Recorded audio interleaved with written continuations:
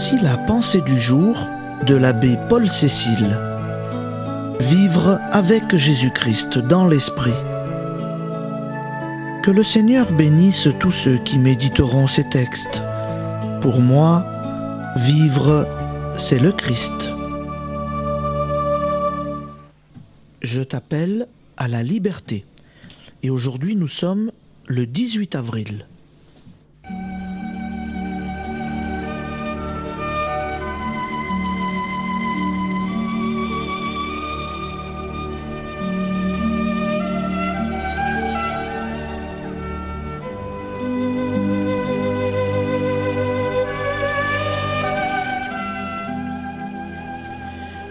Je suis venu faire une terre nouvelle, un homme nouveau, instaurer un esprit nouveau. Je t'appelle à la liberté, à te libérer et à libérer autrui de ses chaînes. Libère-toi de tes angoisses, de tes peurs, de tes habitudes, de tes passions, de tout ce qui te rend esclave Fais la vérité en toi, et la vérité te fera libre.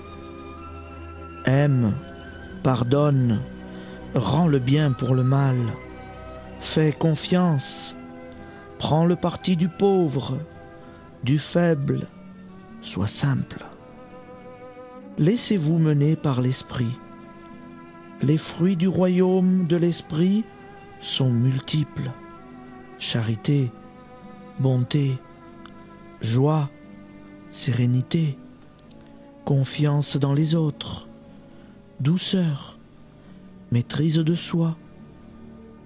Puisque l'Esprit est notre vie, que l'Esprit nous fasse agir.